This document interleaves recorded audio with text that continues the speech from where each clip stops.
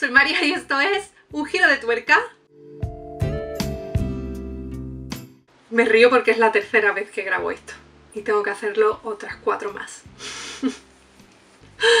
En el vídeo de hoy vamos a hacer de nuevo una tarjeta gracias a la tienda online CreaBea que me ha ayudado para crear esta fantástica semana de San Valentín donde os estoy eh, subiendo un vídeo al día. Eh, ya os subí el vídeo el lunes donde hacíamos unos marcos, os subí vídeo ayer donde hacíamos una tarjeta súper chula y muy sencilla y la tarjeta de hoy es súper guay porque vamos a combinar eh, lo que es decorar con una maderita y además vamos a añadirle una shaker. Eh, así que bueno, espero que os guste mucho el vídeo y que lo disfrutéis. Empezamos cogiendo nuestro papel, como os dije ayer, voy a usar este tono malva que me encanta y vamos a usar también el marco Polaroid. Voy a cortarlo a la medida que aparece en pantalla y haré el hendido también justo a la mitad para que sea la base de mi tarjeta que en este caso va a ser cuadrada. Le doy bien con la plegadera para que se quede bien doblada y ya tenemos la base de nuestra tarjeta. Más o menos quedaría así.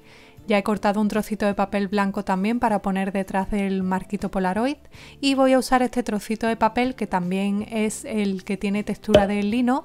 Es un trocito que me ha sobrado de otras cosas que he estado haciendo y voy a coger la pintura nacarada que ya sabéis que es chulísima, os la enseñé ayer y estoy enamorada de estas pinturas. Pues voy a poner una gotita de rojo, una gotita, otra gotita de rojo una gotita de blanco y otra gotita más de blanco en el rojo para poder mezclar y hacer otro tono de rojo diferente. Así que bueno, en el papel blanco voy mezclando eh, los colores para mm, poder así teñir el papel, por así decirlo. Y la verdad es que quedan preciosos, súper bien, el acabado es perfecto y me están encantando esas pinturas. Estoy deseando probarlas en muchos otros sitios. Vamos, las vais a ver más a menudo seguro y no descarto eh, de hacerme con algún otro color. Bueno, ahora solo queda esperar a que seque y mirad qué bonito el efecto este que tienen acarado. no sé, a mí me parecen preciosas. Ahora cojo el marco Polaroid para poder medirlo y cortar este trozo de acetato que tengo aquí. Lo compré en la papelería que hay al lado de mi casa y voy midiendo hasta que me cuadre justo en lo que es el rectángulo de arriba y lo voy a pegar con una cinta de doble cara que tengo que es muy muy estrechita, aunque si no tenéis de esta tan estrecha siempre podéis pegarlo con la vuestra normal, la cortáis y esa os vale. Una vez que tengo todo el alrededor, pues lo que tenemos que hacer es retirar la cinta protectora para poder pegar nuestro acetato. Ahora lo que voy a hacer es cortar todos los corazoncitos que pueda. voy a cortar todo lo que, lo que he pintado, incluso algunos en, mate que no, he, que no he pintado con la pintura nacarada, también los voy a meter. Y nada, corazoncitos, corazoncitos, corazoncitos y más corazoncitos. Una vez que lo tengo voy a coger la cinta en 3D y voy a cortar para poder ir poniéndola todo alrededor del marco para que no se salgan luego los corazoncitos. Así que nada, eh, voy cortándola con la tijera porque es demasiado ancha y voy a poner un poquito de polvo talco por dentro, eh, lo que es eh, pegadito al acetato, para poder mm, desactivar el pegamento de la cinta de doble cara 3D y así que los corazones no se queden pegados en ella. Voy a poner todos los corazoncitos mirando hacia la parte de fuera de mi marco Polaroid. Además lo pongo todos, todos. Pensé en dejar algunos fuera porque la verdad es que son un montón, pero finalmente los puse todos.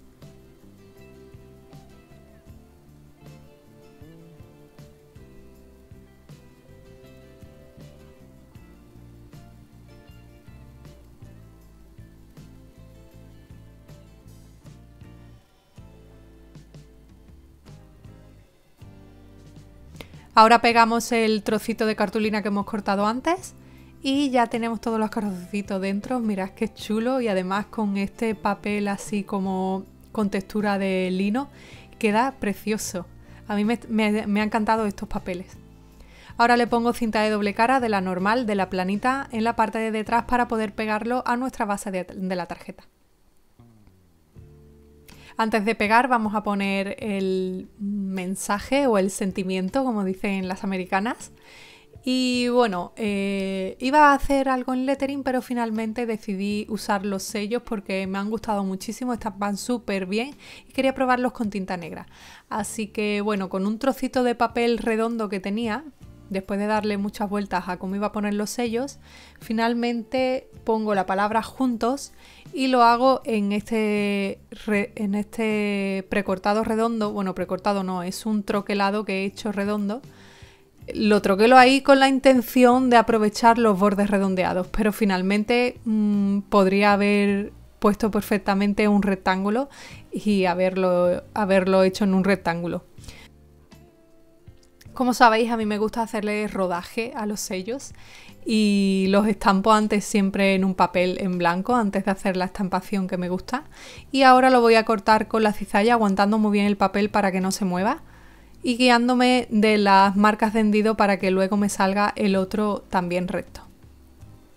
Como veis al final pues le corto un trozo y podría haber cortado perfectamente un rectángulo, pero bueno, le pongo un poco de cinta de doble cara y lo pego más o menos donde veo que puede quedar bien, ayudándome también del borde del papel para que me quede recto.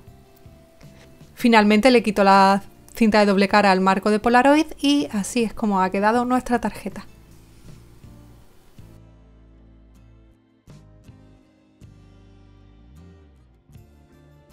Por último, me falta también firmarla y lo que hago es ponerle con un rotulador calibrado una M y un corazoncito como hicimos eh, ayer en la tarjeta anterior. Bueno, pues esto ha sido todo, de verdad, sinceramente espero que te haya gustado mucho. Recuerda que me puedes dejar me gusta, suscribirte al canal si aún no lo has hecho, abajo en el botoncito rojo donde pone suscribirse. Además, eh, le puedes dar a la campanita para que YouTube te avise cuando subo vídeo. Déjame un comentario que luego yo lo voy a ver y le voy a dar un corazoncito y nos vemos en el próximo vídeo, que es mañana. ¡Chao!